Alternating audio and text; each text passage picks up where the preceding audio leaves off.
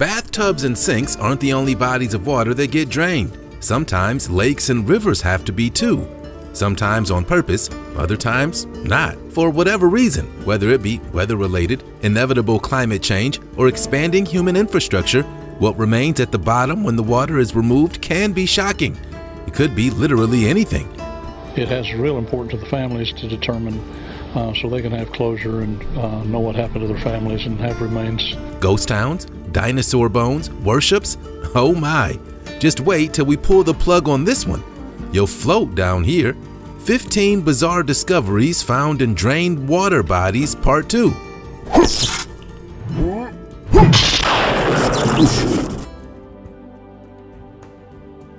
Sea Dragon Described as one of the greatest finds in the history of British paleontology, check out this gigantic prehistoric sea dragon discovered in the Midlands of England. It was discovered during the routine draining of a lagoon island at the Rutland Water Reservoir. Okay, so it's not an actual dragon, but more like a giant prehistoric dolphin. Ichthyosaurs, which were marine reptiles, first appeared about 250 million years ago and resembled dolphins in their general body shape. They're called sea dragons because they tend to have very large teeth and eyes. This ichthyosaur, which is about 180 million years old with a skeleton measuring about 32 feet in length and a skull weighing about 1 ton, is the largest and most complete fossil of its kind ever found in the UK. Two incomplete and much smaller ichthyosaurs were found during the construction of Rutland Water in the 1970s, but the latest discovery is the first complete skeleton. Despite the many fossils found in Britain, it's remarkable to think that this is the largest skeleton ever found in the UK. It's a truly unprecedented discovery and one of the greatest finds in British paleontological history. Once you learn to snorkel or dive, a whole new world opens up underneath the surface. Corals, shoals of fish, and caves create a thrilling new experience Adding to that excitement are the artificial reefs and other attractions created by resorts for divers and free divers or snorkelers to explore. Among the most haunting of these sites, you can see sculptures, some new and some ancient. Seeing a work of art looming out of the mysterious depths is a unique experience, but what scientists found at the bottom of this drain lake has left people speechless. This sculpture of a god in a lotus position wasn't supposed to be there, nor was its head ever found, according to reports. So what does that mean? Did some sort of ancient natural disaster deposit this sculpture where it sits now? Or did someone put it there? Maybe thieves robbed the monument of its head in an act of vandalism. There's a lot to unpack in this image about the possible origin. Where did the water go? What do you think? Comment below with the hashtag open discussion. Bombay Beach Town Bombay Beach in California is the lowest community in the United States, located 223 feet below sea level. And this is what it looks like today. During the 1950s, Bombay Beach was a popular beach-going destination. Celebrities such as Frank Sinatra, the Beach Boys, and Bing Crosby frequented the luxury resorts along the Salton Sea, which was known for its fishing, boating, and water skiing. The area attracted half a million tourists annually, rivaling Yosemite National Park. That was until the 1980s, when the draining and increasing salinity of the Salton area rendering the beach a ghost town.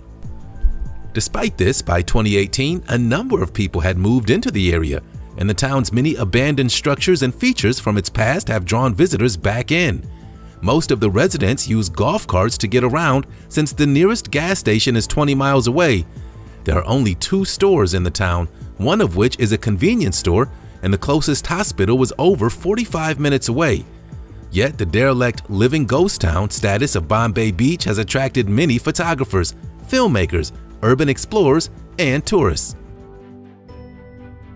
World War II warships Thanks to the worst drought Europe has had in years, it pushed the mighty river Danube to one of its lowest levels in almost a century, exposing the hulks of dozens of explosive-laden German warships sunk during World War II. Viewed by scientists as a consequence of climate change, the drought exposed more than 20 hulks on a stretch of the river near Prahovo in eastern Serbia, many of which still contain tons of ammunition and explosives and pose a danger to shipping, Strewn across the riverbed, some of the ships still boast turrets, command bridges, broken masts, and twisted hulls, which others lie mostly submerged under sandbanks. The vessels were among hundreds scuttled along the Danube by Nazi Germany's Black Sea Fleet in 1944 as they retreated from advancing Soviet forces and still hamper river traffic during low water levels. Workers in the local fishing industry are also at risk, including those from Romania, which lie just across the river. In addition to the dangers posed by tons of unexploded ammunition, the wrecks have reduced the navigable width of the channel by nearly half, a mere 330 feet as opposed to the usual 600. World War II bomb. Heat waves sweeping Europe recently have brought not just record high temperatures and scorched fields, the drought-stricken waters of Italy's River Po are running so low they revealed a previously submerged World War II bomb. So, Italy declared a state of emergency for areas surrounding the Po, which is the country's longest river. It accounts for roughly a third of Italy's agricultural production and is suffering its worst drought in 70 years. It was no easy task to clear that bomb. About 3,000 people living nearby were evacuated for the disposal operation. The area's airspace was shut down, and navigation along that stretch of the waterway as well as traffic on a railway line and state road close by were halted. Then the bomb squad, escorted by police, transferred the device to a quarry nearby about 30 minutes away. Bomb disposal engineers removed the fuse from the U.S. manufactured device, which the Army said contained 530 pounds of explosive. Military experts defused and carried out controlled explosions of the 1,000-pound bomb. Gun and Pistol Tempe Town Lake Tempe Town Lake is an artificial perennial reservoir located on the Salt River in the Indian Bend Wash in Tempe, Arizona. The reservoir receives much of its water from the Colorado River. The lake was emptied to complete construction on a new hydraulically operated steel gate dam that replaces an inflatable rubber system. And authorities found some pretty interesting stuff when the water was gone. Local police confirmed they recovered three pistols from the bottom of the lake. They also recovered a knife and part of another pistol when the lake was empty. And the big questions remained. What were they doing there? This lake has only existed since 1999. In July 2010, one section of the inflatable dam burst, thus releasing water up to 15,000 cubic feet per second into the normally dry Salt River bed. The lake began draining immediately, by the next morning, the lake had lost about three-fourths of its normal water. The dam breach left some areas of the lake with three feet of water or less, and that's why authorities think the weapons could have been washed into the lake then. But officers said they're continuing to look into the firearms to see if they can determine if they were used in any crime. 400-year-old church. Sometimes, for the sake of progress, Entire communities are moved to another location to fill water reservoirs like this. Usually when droughts occur and reservoir water levels recede, it's not a good thing. But this drought in southern Mexico is attracting a lot of enthusiasm. Water levels in this reservoir have dropped by 82 feet, revealing the remains of a mid-16th century colonial church. Known as the Temple of Santiago, the church was built by a group of monks who arrived in the area in the 16th century. However, it said that the church was likely abandoned due to plagues that ravaged the area in the 1700s. But the 48-foot tall church became a relic of memory in 1966 when the construction of a dam submerged it underwater. Since then, it's only emerged twice, once in 2002 and again now. The relic with a bell tower reaching 48 feet is surprisingly intact despite its time underwater. Architectural details and design are still clearly able to be observed and admired in this lost place of worship. The church has become a popular destination for tourists, and local fishermen have been taking spectators out on boats to get a close-up view. Water levels get low enough for people to walk inside the church too. Submarine Explorer The Submarine Explorer, built in the 1860s in Brooklyn, New York, was the first submersible that was capable of diving and rising without help from the surface. But sickness among the crew and overfishing of the pearl beds led to the abandonment of this vessel in Panama in 1869. However, the severely rusting hull of the submarine explorer was finally rediscovered. Despite being hand-powered, The cigar-shaped vessel contained pressurized working compartments for passengers and a sophisticated for-the-time system that allowed the ship to take on water to sink and use pressurized air to rise. After construction, the sub was transported to Panama in 1866 to harvest oysters and pearls in the Pearl Islands. Experimental dives in the Bay of Panama ended a year later when the captain died of a mysterious fever. When a new engineer and crew took over, with known depths and dive profiles that were way too deep, the entire crew succumbed to what was described as decompression sickness, otherwise called the bends. Because of this, the craft because of this, the craft was laid up in a cove on the shores of the island of San Telmo in the Pearl Islands in a severe state of decay after more than a century of neglect. Secret Trapdoor They had us at Manchester's Secret Canal Trapdoor. Here in the UK, the hidden underground river Tib crosses the Rochdale Canal. At a point, the two are connected by a trapdoor in the canal bed which was used to drain water into the underground river. In the canal bed is a chain connected to a wooden trapdoor. When the canal is drained, this trapdoor can be lifted to let any further water out of the canal pound between the third and fourth locks. It's a key piece of the local history. These city officials were allowed access to the site of a drained canal lock in section of the Rochdale Canal so they could explore the once industrious canal and one of its biggest secrets, Manchester's secret canal trapdoors. The River Tib is a minor tributary of the River Medlock. It has been culverted along its entire length since about 1783 and now runs beneath Manchester city centre. During the Roman period, the Tib continued to mark Manchester's boundary until medieval times, as well as providing drinking water. Set in the bottom of the canal when it was constructed at the turn of the 18th and 19th centuries, the door acts as a plug hole allowing the Rochdale Canal water to be drained away into the hidden river almost 20 feet below. 1000 Lingas Bridgehead is an archaeological site on the southwest slopes of Kulen Hills in Cambodia. The site consists of a series of stone rock relief carvings and sandstone formations of the river bed and banks. It's commonly known as the River of a Thousand Lingas. The carving of vestiges began when two kings ruled between the 11th and 12th centuries. The archaeological site was discovered in 1969, but further exploration was cut off due to the Cambodian Civil War. The site regained prominence for safe visits in 1989. The motifs for stone carvings are mainly myriads of lingams, phallic symbols, depicted as nearly arranged bumps that cover the surface of the sandstone bedrock. There are also various Hindu mythological motifs including depictions of the gods as well as animals. The lingams, such of which date back to the 9th century, are about 10 inches square and 4 inches deep and lined in a perfect grid pattern. The river runs over them, and according to ancient lore, the holy objects are designed to create a power path for the kings. After the carvings, the river falls into a clear water pool. As it flows over the holy lingams, the river attains a sanctified status and passes through the temples that are downstream. Spanish Stonehenge Europe suffered an unusually hot summer recently, with its highest temperatures ever in the month of June. Luckily, the scorching weather conditions revealed an unexpected sight in Spain. After 50 years out of sight beneath the waters of a man-made lake in western Spain, the 7,000-year-old megalithic monument known as the Dolmen of Guadalperal is finally back on dry land. Known as the Spanish Stonehenge, the formation is a large circle of about 150 standing stones, some more than 6 feet tall, arranged around a central open oval. Archaeologists speculate that the structure was built in the 4th or 5th millennium BC, possibly making it thousands of years older than Stonehenge in England.